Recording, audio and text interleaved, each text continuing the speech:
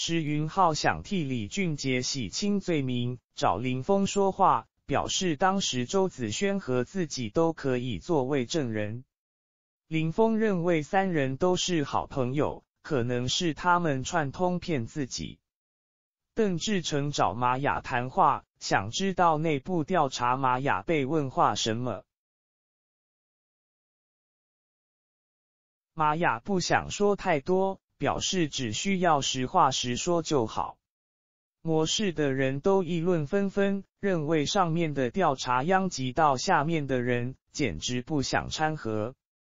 江华来办公室找石云浩，想让他跟自己合作，表示没有永远的朋友，也没有永远的敌人，让他说出 VX 三控制单元的下落，这样可以帮助到木川，也可以保护石云浩。让其发挥更大的价值。石云浩心烦意乱，把江华按在桌上，让他不要总是拿前辈的身份跟自己说事，怀疑他可能比自己死在前面。江华很生气，离开办公室准备回家，没想到被哈桑尾随。江华一点也没注意。回到家里，只知道喝闷酒。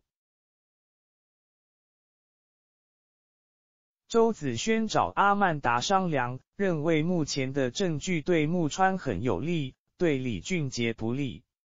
阿曼达让周子轩想想木川最信任的人，周子轩想到了江华，阿曼达让他去把江华带过来。周子轩来到江华住处。发现他的门已经打开，进去后遇到哈桑。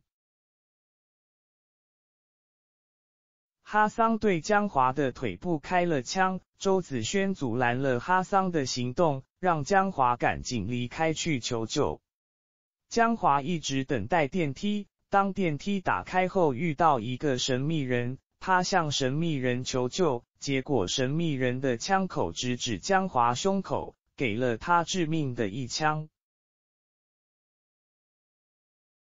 石云浩刚好也来到江华房间，看到周子轩有危险，哈桑趁乱逃跑。周子轩很好奇，问石云浩怎么突然来这里。石云浩很担心周子轩的安全。突然听到尖叫，才得知电梯有人死了。打开电梯一看，正是江华。马其明收藏一幅作品，认为这是最适合自己的，欣赏这部作品。情书告诉马其明，江华已经死了，看样子只有木川才知道 VX 三的下落。赵医生查看了江华的死因，认为最致命的就是他的胸口。阿曼达怀疑有两拨人想杀江华。但周子轩不这么认为。周子轩要把这个事情告诉李俊杰。去监狱的时候看到石云浩，他故意给石云浩打了电话，问他正在做什么。石云浩撒谎说自己下楼买夜宵。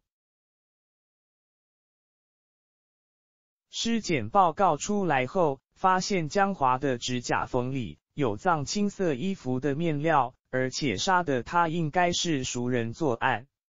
石云浩问木川是不是他杀了江华，木川否认，让他好好保护周子轩，保护控制仪。周子轩跟李俊杰说了些话，又去找木川，表示对他的失望，不想再相信他。陈静文决定跟周子轩回模式，想要继续追查下去。私人医生很遗憾，本来想卖掉诊所，跟他去欧洲生活，让他想好后随时可以回来。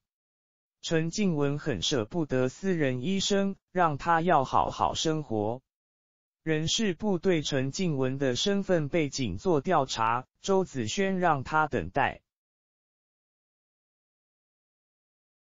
周子轩指责玛雅酗酒，玛雅不高兴，认为周子轩失约，还怀疑自己，没有考虑自己感受。周子轩让他不要酗酒，不然会被别人利用。赵医生从江华的指甲缝里找到了跟石云浩同款的衣服，并告诉周子轩。